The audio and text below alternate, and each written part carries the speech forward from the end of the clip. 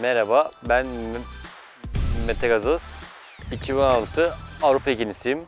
Benim tekniğimdeki en özel, en güzel kısım yani diğer insanlar dediğimi yapsalar bile yani benim gibi olmayacaklar kısmı işte sol kolumu burada omuzdan ve sağ sağ elimi normal bırakışını ikisini aynı anda yaptığım zaman ve sol kolum yani yay sarıya fırladığı zaman o kesin ortaya gitmesi, x gitmesi.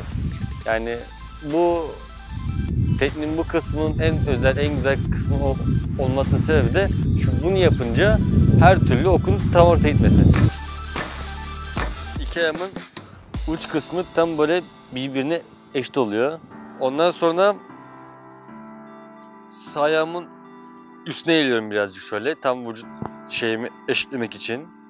Sonra sol geride kalmasını önlemek için şöyle bir dönme hareketi yapıyorum.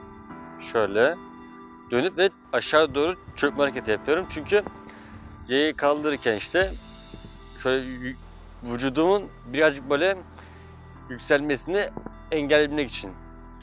Ondan sonra kirişi şey yapıyorum, tutuşma ayarlıyorum. İyice tam tuttuktan sonra kabzeye nasıl basmam gerektiğini şey yapıyorum.